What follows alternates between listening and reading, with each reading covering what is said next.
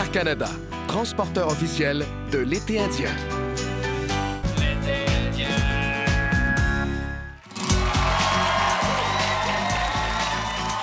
J'aimerais, Julie, que les téléspectateurs de France 2 que je représente découvrent ce soir une blonde qui a des yeux qu'on n'oublie pas.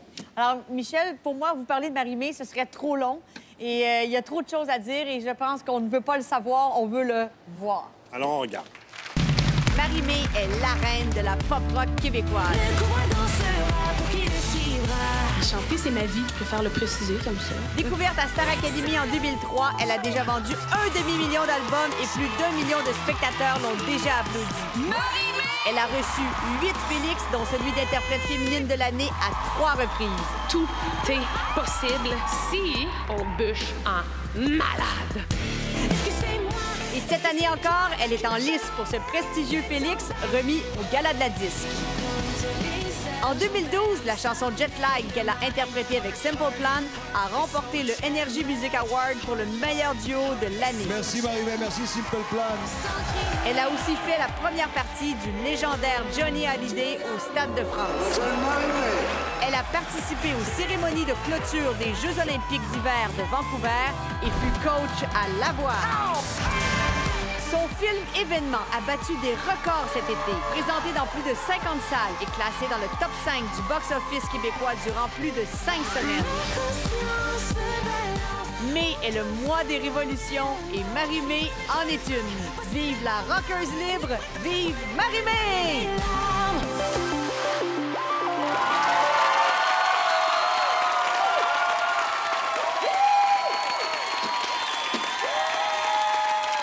Alors, d'abord, j'ai l'impression que vous étiez à deux doigts de mettre les deux pieds en France.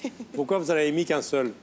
Moi, en fait, j'ai l'impression que je suis la chanteuse qui est passée tout près d'avoir une carrière en France le plus souvent.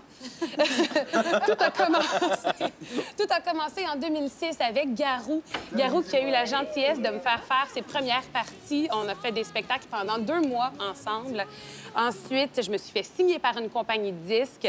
Je me suis fait laisser tomber par une compagnie plus, de ça- disques. mais ça a très bien marché en radio Ça, aussi. ça fonctionné en radio. Puis, fait intéressant, les fans qui m'ont découvert en 2006 avec toi sont encore là aujourd'hui.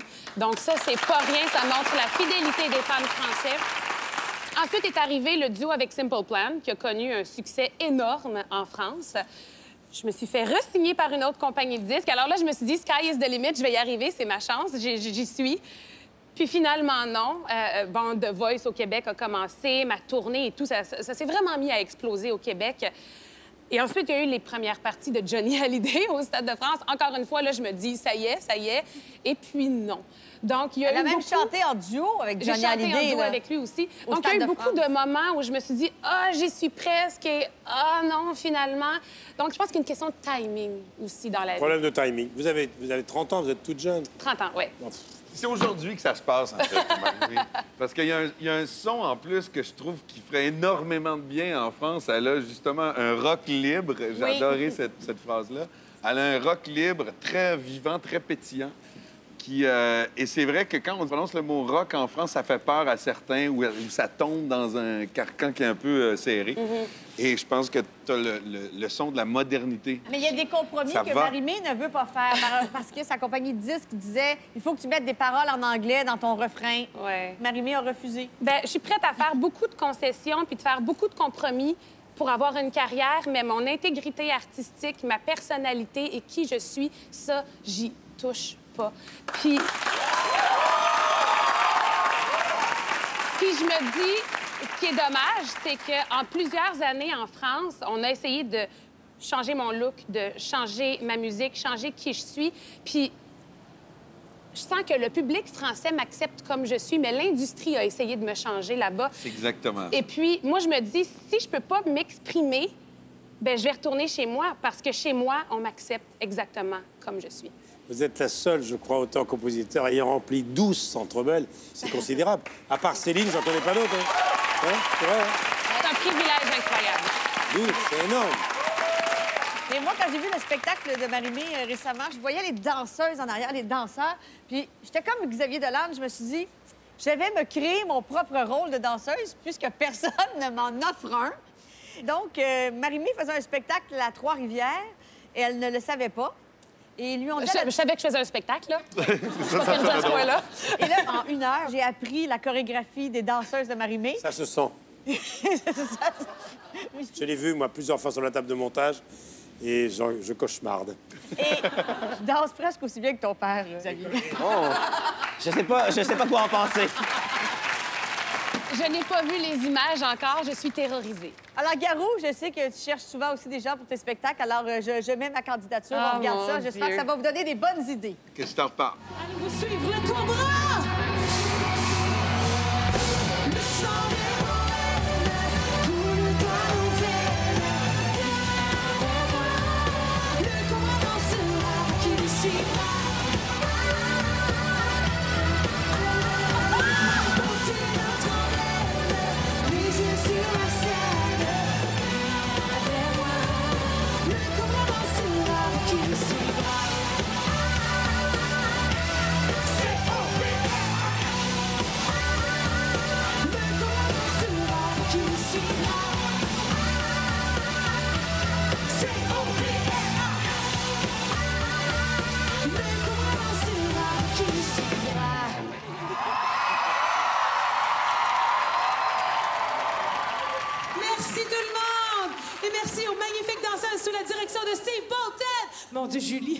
Oh mon Dieu! Je, je trouvais qu'il y avait une danseuse qui s'agrippait vraiment fort. Julie Snyder!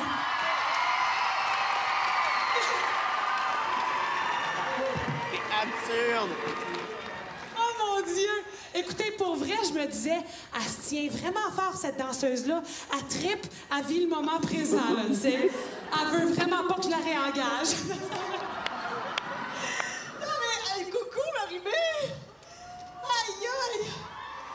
Bonsoir, tout le monde! Ah! Non, mais premièrement, à quel point Julie est sexy ce soir!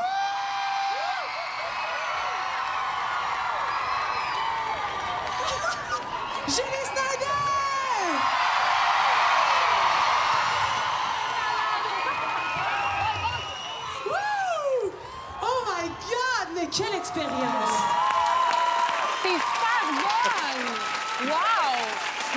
mais ça en une soirée? Non, en après-midi, pendant que je gérais les devoirs de mon fils qui voulait pas faire ses devoirs, puis que je me sentais comme Anne Dorval dans un film de Xavier Dolan avec mon fils. Puis je dis à mon fils, je comprends pas. Maman elle a des choses importantes à faire. Julie, vous avez commencé la danse à quel âge et vous l'avez arrêtée à quel âge? J'ai commencé à 46 ans. Et elle a arrêté à 46 ans. Mais la détermination dans ton œil avant l'entrée de scène, C'est. Le exceptionnel. courage que tu puisses, mais la manière dont tu regardes constamment la danseuse à côté de toi pour voir. Mais elle assume chaque mouvement. hein. Chaque mouvement est assumé. Elle va au bout. Xavier se demande ce qu'il a trouvé le plus drôle ce soir. Voir son père danser ou me voir danser, il hésite, là. Voir mon père danser. si, je veux dire, peu importe tes talents de danseuse, c'était quand même pas le jumpsuit. Argenté. Merci, Marie-Mé. Ma plus grosse peur de ma vie, ça a été ça, moi. On descend dans des cages, mais depuis à peu près 3-4 ans, on ouvre les portes, puis on sort, puis on se promène. Je vais mettre devant, finalement, parce que Je t'en prie. je- j'ai plus confiance en, En toi? en moi. Je t'en prie. C'est toi qui dirige tout, hein? On y va de Océan, partenaire de l'été indien.